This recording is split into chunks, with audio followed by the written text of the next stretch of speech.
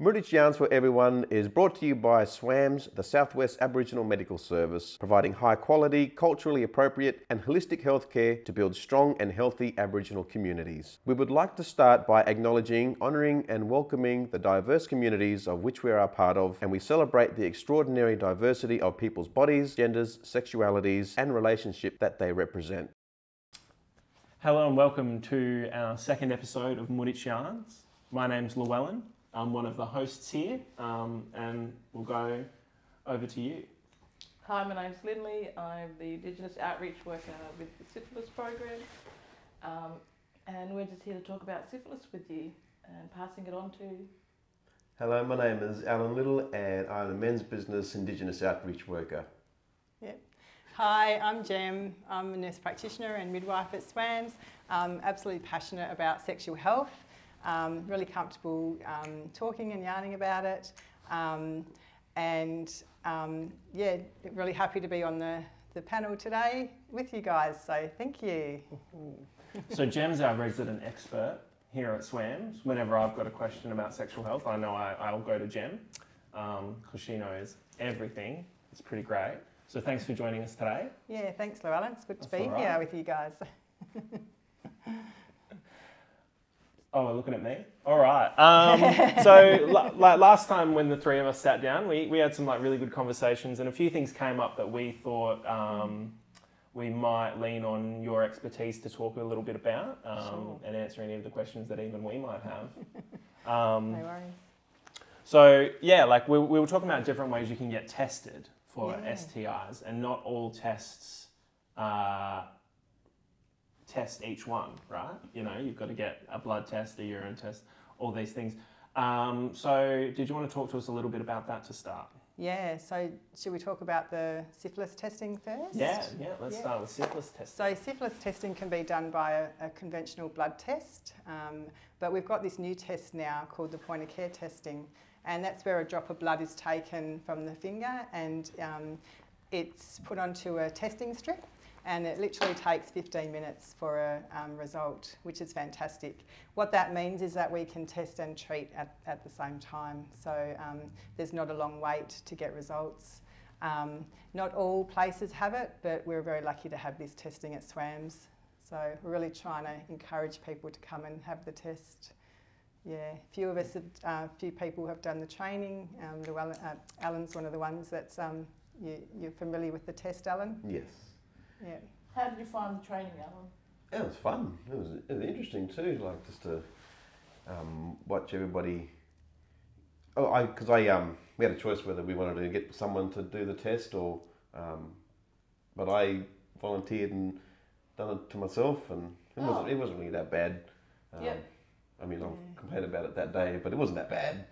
well, I don't know about everybody else, but um, you know, 15 minutes. Yeah. I think that's. Um, wonderful for um, Aboriginal people, especially um, waiting around in a waiting area. Mm. Um, I know personally, I wouldn't want to wait a very long time, and then I'll be, you know, I'll, I would probably be stressing as well, yeah. waiting for my results. Yeah. Um, which usually the old way would would have been, uh, what, Jem? Yeah, so with the blood test, it, it takes a day or so to, to get the result back. So, you know, you have to go away and then come back with the result. Whereas with the point of care, you can get it that, that in that quick. Um, you know, you, sometimes you're in the clinic and you're already doing other things in the clinic. So by the time that 15 minutes is gone, you're ready to get your result. Yeah. That sounds amazing. Yeah. yeah. So what happens if I go in and I get my finger pricked? And it comes back positive, what what happens? Yeah, so normally um, we talk to you about that. We might ask you some questions relevant to you know um, any other testing that you may need. So it's always good to do a full STI check. Often we do have to do a blood well, we do have to do a blood test um, if it does come up positive. Um, but you know, syphilis is completely treatable, so we know we can treat it with the penicillin. Um, and we just do a blood test and then um, give you the treatment. Yeah, we go through all that with you and explain it at the time. Um, it's really important to. And to you mentioned test. treatment, um, mm. so that's a very big, important part once you've done your testing. If you become positive. Yep. Yep. I can answer this one. So Okay. treatment is two injections Yep. intramuscular. I believe we touched on a little bit in the last episode, Yep. and you just go Yeah. inject. Is that correct, Jane? Yep, so it is two injections and it's into the um, buttocks, outer um, area of the buttocks. Um, and it's um, normally just if we if we know that there's it's just a newly um, acquired syphilis, then it's just one injection. If we're not sure how long it's been there for, we might have to give you a few in, uh, three lots of um, treatment over a three week period. But the best thing is that it's much better to be treated than not treated. So one injection, you mean the two injections at the same time, That's and then you don't have to come back. Yeah. Yeah, Okay. yeah, yeah. And what what do you have to do after you get treated? Yeah, so we normally say no sex or no sexual contact for seven days after treatment or use condoms um, every time. Um, you also might have to have that discussion around um, con- contact tracing. So, because it's important to keep um, anyone that um, may have um, you may have had sex with safe as well. Um, so it's around um, asking some of those questions, um, and it's really important that your um, partners come in for testing and, and uh, treatment as well. Yeah. You mentioned about contact tracing. Well, I don't know about yous, but for black fellas, it's a Mm, that's a big shame thing. mm. Um, you know, how do we know that no one else is going to know about it? Yeah, it can be a really hard thing because it's a really private, personal thing to talk about, isn't it? You know. Yeah. Yeah. Yeah, so um, we talk to people around the best ways to, to do that. Sometimes uh, they're able to do it themselves, but sometimes they're not able to. So there's different ways that we can let partners know in a confidential way. Um, it's really important. Um, yeah, there's a couple of websites that can be used. Uh, better to know, let them know. Um, we also can do it in an anonymous way um, through the health the health department. So there's a few different ways, and it's just around yarning with the person at the time about what's going to suit them best. Yeah. Yeah. So the best thing is just to be honest and upfront with your partners, um, and whoever else may be involved. Yeah, and I guess the thing to note is that um, you know we know that um, even after treatment and you've had successful treatment, but you can get it back again. So you can get reinfection. So it's not like an immunisation where it will Yep. treat you forever. Um, this particular infection you can get back again. Yeah, if you're in contact with someone that has has syphilis. Yeah, yeah.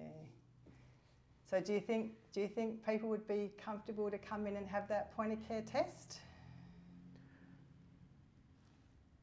I guess, but if you've got that confidentiality in, you'll be, I'll be more comfortable going in and seeing a doctor because Yep, me too. wouldn't want to be that little yarn carrying it around on a. Yep, that's yep. We don't need that, and um, it's not a positive thing to have. But No. um, you know, doctors are, you know, doctors and nurses they can't tell anybody else about your personal information when you when you go into that room with them. Mm. Um, so you need to keep that in mind as well. That everything's um, private and there won't be any of that yarn carrying happening. Yeah, there's, there's nothing to worry about with SWAMS. Um, just ensure you're getting your test done. Because that's really important, um, making sure that your health is all in check. Yeah, I agree. Because um, I think um, often the sexual health part um, is often not prioritised, Hmm. you know, and we put it at the bottom of the list. But it's really important that we're looking after our sexual health. Um, it's it's important for our mind, body, mental health, our spirit um, to, Yeah. to have you know. so we talked sure- about. Sorry, I'm to Yeah, cut you off. no, you're right. Um, we talked about everything positive. What about negative? Yeah, yeah, What if you show negative? yeah. So Oh, I thought you meant like we've talked about all the positive sides of going in and get No. tested. What are the negative sides? I was like, oh, I don't know, man. Like, we need to talk about that side. so negative sides of testing, Testing, or, or yeah. STIs. Well, so you know, um, I guess The I guess my thought was like, say you didn't do the point of care test, say you went home after having a blood test done. Mm. Um, what next? What do you do next if you have to, you know, if we can't get the point of care testing done? How does that work? Yeah, so once you've had a blood test and a result is back, um, if it's negative, well then um, that's all good. Um, we do say there can be a bit of a window period of 12 weeks from time of exposure, so you know we'd encourage people to come back and have another test in 12 weeks. Um, but if it comes up positive, then we, we would be getting you back to the clinic, again, all in a confidential way, and um, discussing it uh, with the person and doing an actual blood test as well, um, or an, another blood test because you need another blood test to check the activity of the infection, um, and then then um, having the treatment. Yeah. So yeah. But if it's negative, you don't have to go back in. Um, no, you just you, you would organise with your doctor or myself, say the nurse practitioner, to get a get your result, um, whether that's on uh, in person, phone. Um, you would organise that at the time, Mm-hmm. and if it's all negative, well then um, then you don't um, need to come back in for any treatment. And then you're done. Yeah, That's it. Game over. yeah. Not necessarily game over because you can get it again. Yeah, well, they didn't have it the first time, so they could get it, That's what but we're not hoping. again. Yeah. Yeah, yeah. So I guess the other thing is uh, with our pregnant ladies, um, you know, uh, we are doing more testing in pregnancy. So um, that's really important that women, as soon as they know they're pregnant, that they're coming in straight away. So we can firstly um, start their antenatal care, but um, do all our normal testing with them. Yeah, yeah, yeah. So Lynley, when are we? So when are we recommending that women have uh, testing in pregnancy? Uh, first time that you know you're pregnant and you need to go in and get the doctor to get it all checked out to see if you're actually pregnant.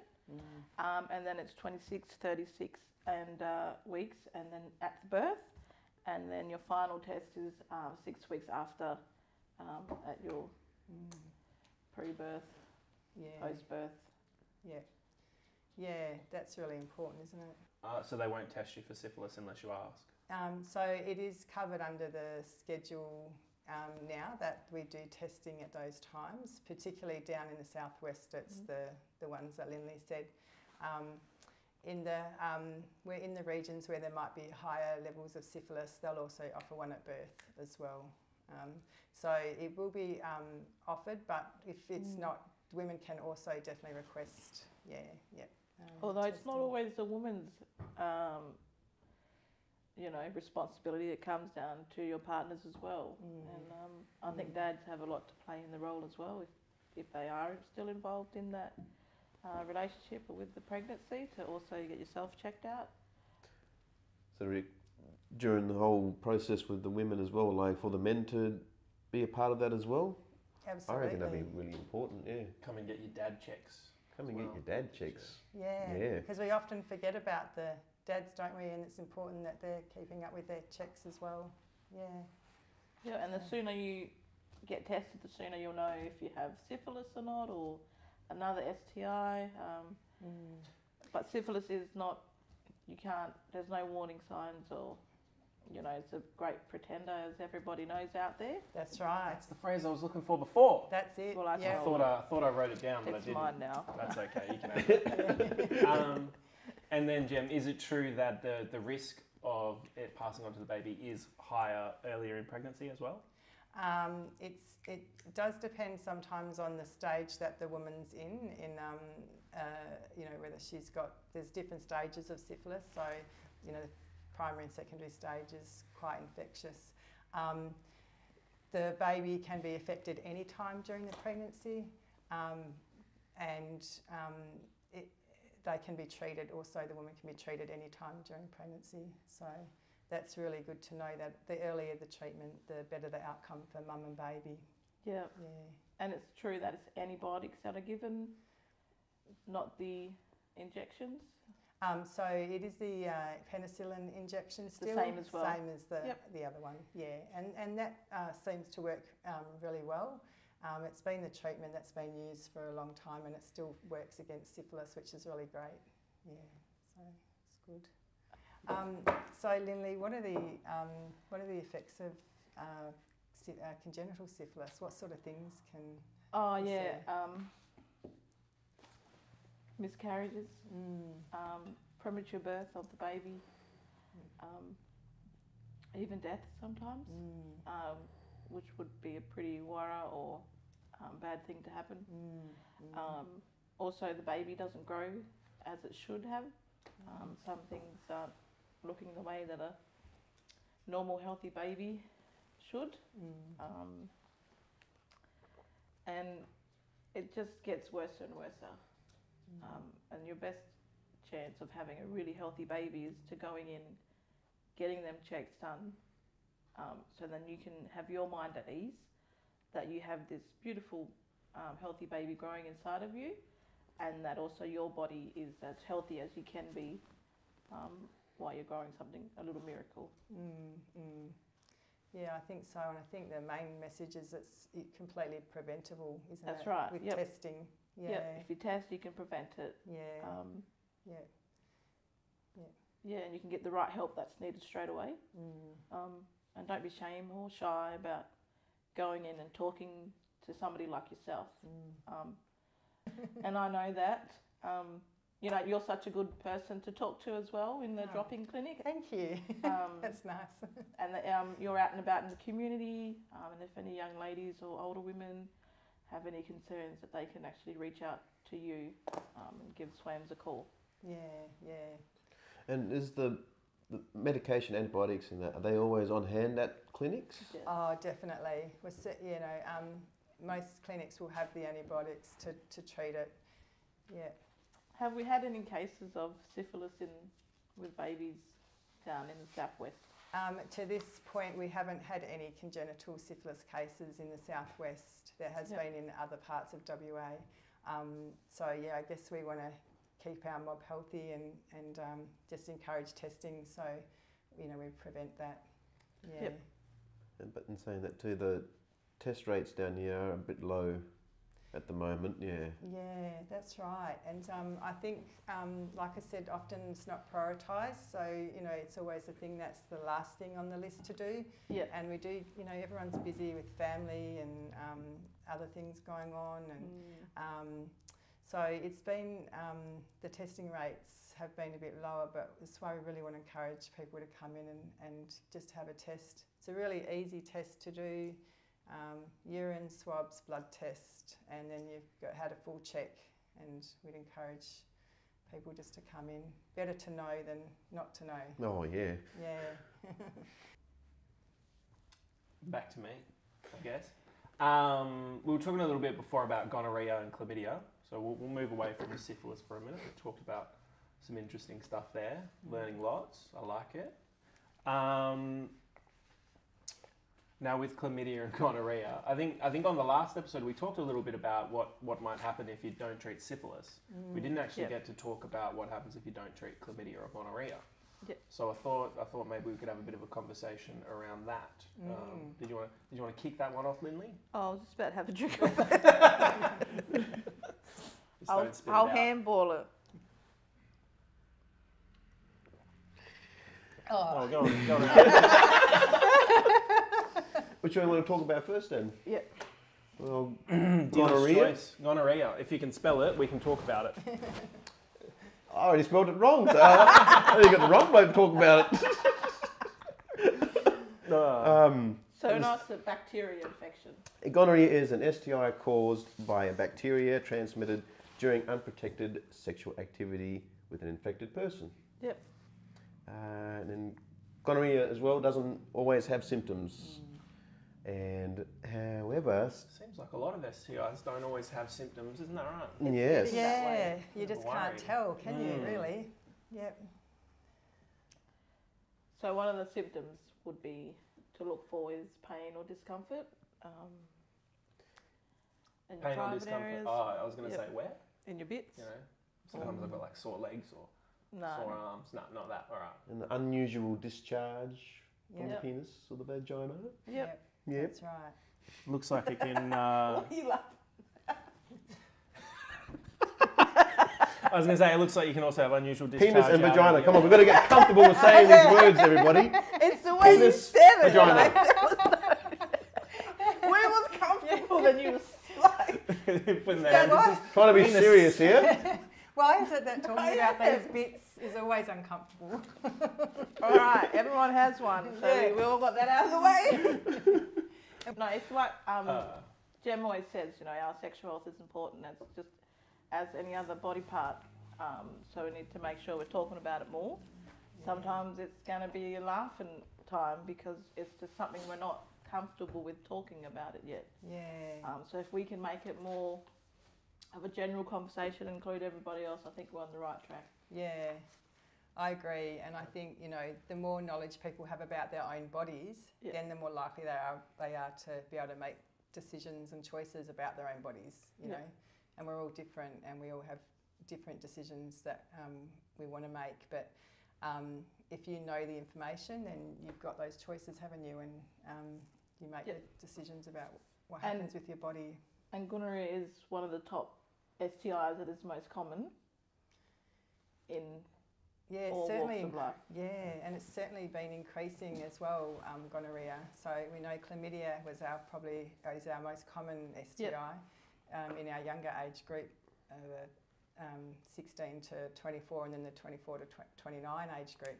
But you know, chlamydia, uh, gonorrhea is increasing as well. So we was Yeah. talking about the so symptoms. all- Sorry. I was just going to say they're all increasing. Yeah. What's going on there? Mm. It's just Well, people are enjoying breaking the themselves. fourth wall. People have been in People lockdown for too enjoying, long. Yeah. in lockdown, Yeah. enjoying Yeah. themselves. COVID 19. Anything lockdown, no one's going out, no one's seeing each other, but they're still sharing stuff. They are. Yeah. Well, how do you So- think it travels? Well, well, and this is the question, isn't it? Traveling. Now, someone told me you could get it off the bus seat or off the toilet seat.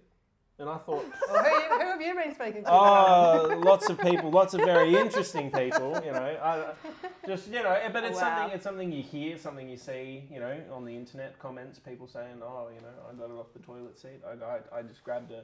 how Yeah. is the toilet Press the seat and a bus button. seat the same when you're half You put naked on a toilet seat? Yeah. I don't know how you're sitting on the bus, but sometimes, you know, I've got to get comfortable. Are you catching the bus negative? you lost it now. mate. You lost Well, I'm glad because it's been a while since I've had oh, to get a bus. There you go, you're not using a bus. Just, you know. Ah. That, that cleared my blocked nose. I can breathe now. Have you popped your ears? It popped. So, so Llewelyn, what are your thoughts? Do you reckon you can get it off the? Well, you, you know, like this seen is this is an interesting thing. You know, you hear you hear lots in the media, you see lots in the news. There's, there's a lot of concerns about all these different diseases that we can catch in all these bizarre ways. Yeah. But you know, can can you? I guess. I'm just going to handle that. What do you reckon, Alan? Um, I hope not. I don't, no, I hope not. I really hope I not. don't, no, I don't think you get it from toilet seat. It's Nah. usually by skin to skin contact. Yeah. It doesn't live outside the body for, for very long, so it's not going to live on a toilet seat or, or a bus seat. Or a bus seat? There you go. Let's just hope For it's long. not COVID 19, eh? yeah. so no, it's it's it's more around your um, you know sexual activity and contact. Um, so you can keep getting the bus. Keep catching the bus. Keep and sitting You on don't toilet have to seats. wipe it down. The bus driver does that for us with COVID. Yeah. Sitting on the toilet seats. Maybe put some paper down just to be safe. You know. Is that what you do? No. Yeah, not because I'm worried about chlamydia, though. I just don't want, you know. Wait, gonorrhea we're talking oh, about. Oh, no, not because I'm worried about gonorrhea or chlamydia on the toilet seat. I just don't trust other people. it's, Says- just, it's just good Says the 99% of the world right now. Oh. There you go. If everyone's doing it, then we're Yeah. all good. Yeah. no, we're not. Well, I mean, if everyone's covering the toilet seat, not if everyone's doing it.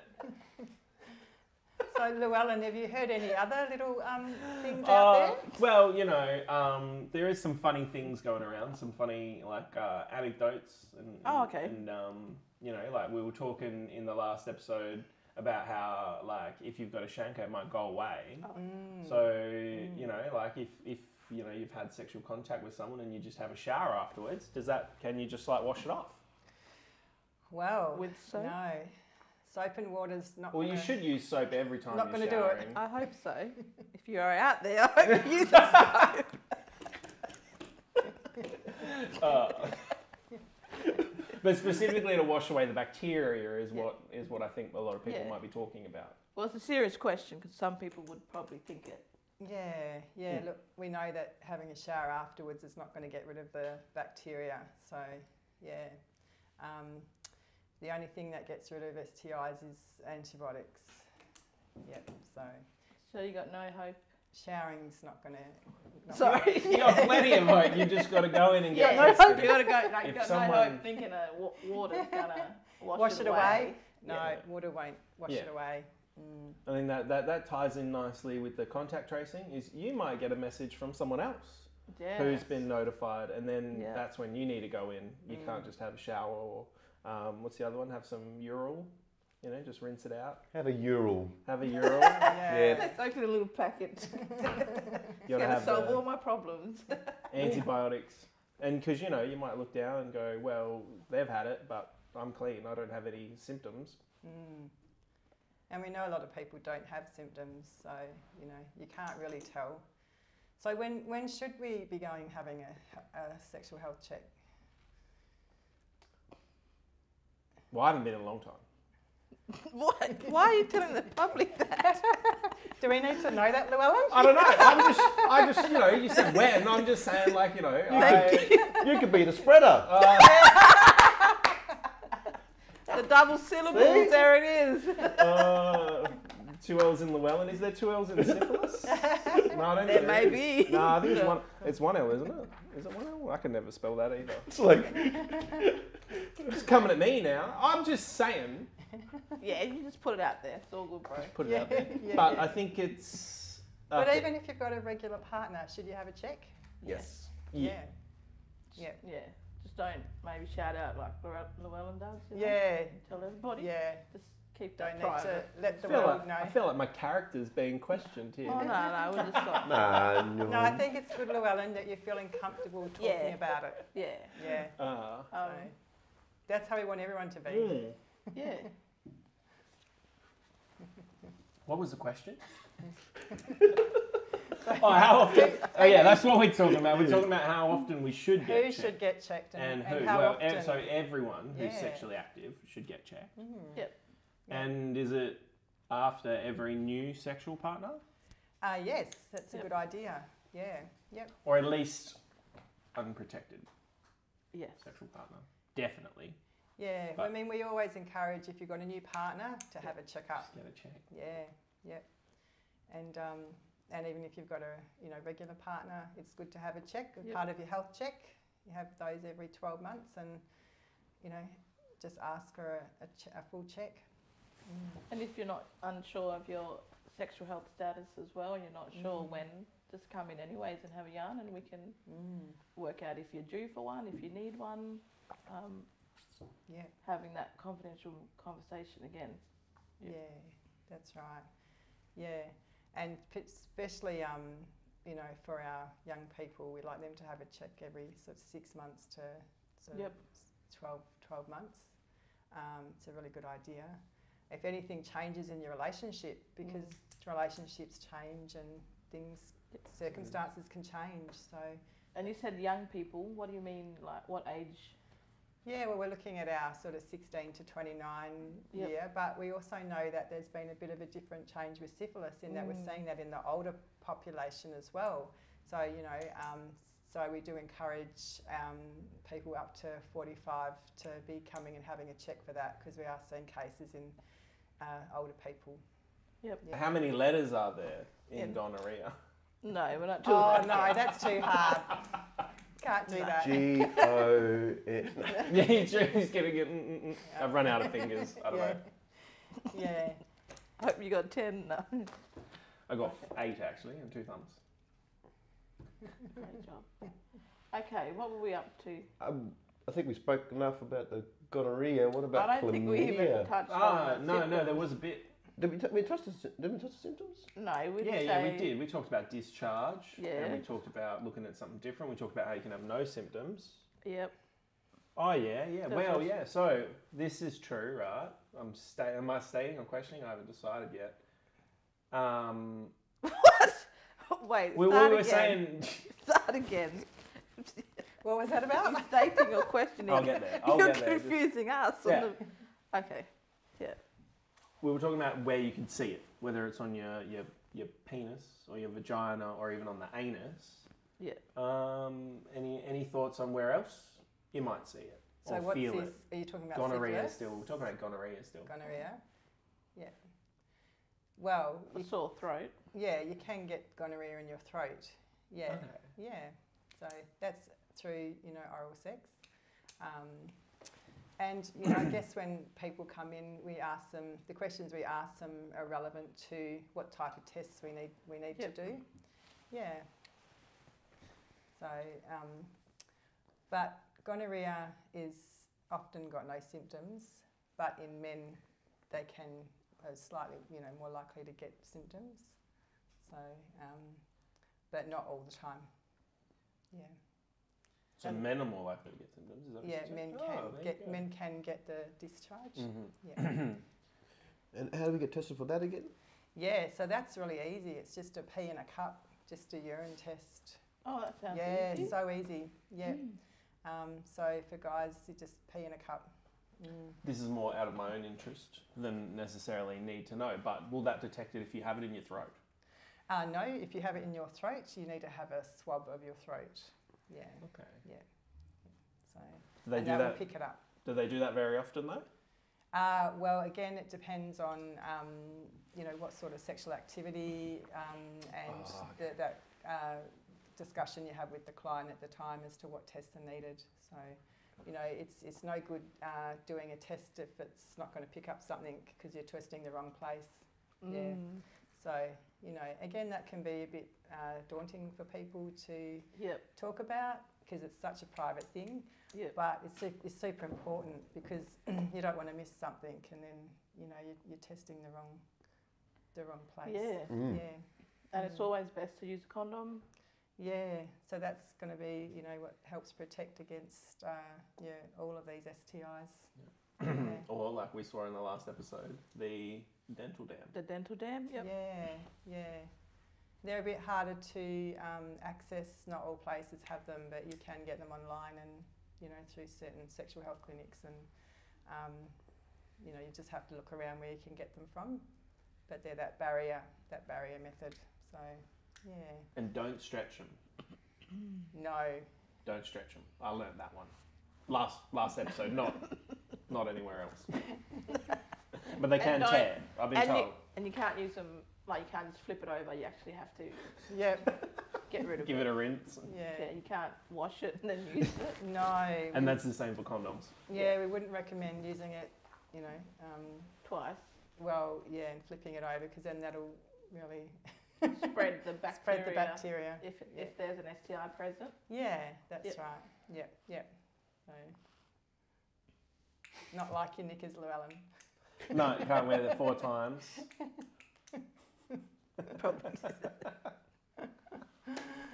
Uh, I hope we didn't cut that out of last week. or last time, rather. I think we did, eh? Did we? I don't know. I, don't, I think we Can't put that bit Uh, in, didn't we? Um, we'll find out when people people writing in, the watchers writing in, go, Yep. why are they talking about undies for? What's that about? We'll have to re- we'll have to release the footage. And uh, all our STI tests are free at SWAMS if you're you're a member and have done your seven one five. Yeah, so all um, those, the, you know, common STI tests are all covered, um, yeah, and they're, they're not charged for. Um, and yeah, they basically are a, a blood test, a urine swabs, so we can do swabs as well, um, or uh, like we said before, the point of care test. So there's no charge Yep. for any of that testing. Yeah. Is um doing the seven one five um is that a, when you're getting your s- sexual health check? Like, do you have to ask for that separately? Yeah, well, I think um, sometimes um, the health provider will offer it, but if they don't, then yeah, just bring it up and ask one because it is a really good idea to have it checked, um, you know, every year. Um, yeah, especially if you've had any change with your relationship or a changing partner or circumstances. So So sometimes you might have to ask ask for it, um, but just remember that at SWAMS, um, you know, we're used to um, having these conversations, and um, this is really important to be on top of your your sexual health. Mm. All right, I think that's as good a time as any to wrap it up. What do you guys think? I think it's a good time to wrap it up. I had fun having a yarn with your mob and talking about the topics that we spoke about today. Yeah, it was good to have Jem in today, and um, thank you for coming in and sharing your knowledge and um, the awesome things that you're doing in the clinic. Yeah, thanks. Um, it's been great to be here, and um, it's just good to have these conversations and be uh, getting this information out there. And thank you to you, the audience, for joining us. Um, hopefully, we'll see you on our third podcast again. So, um, thank you very much for joining us, and we'll talk to you soon. And you too. yep, sure will. We would also like to acknowledge the traditional owners of Noongar Boodjar, where we record, edit, and distribute this podcast, and recognise their continuing connection to land, waters, and culture. We pay respects to their elders past, present, and emerging.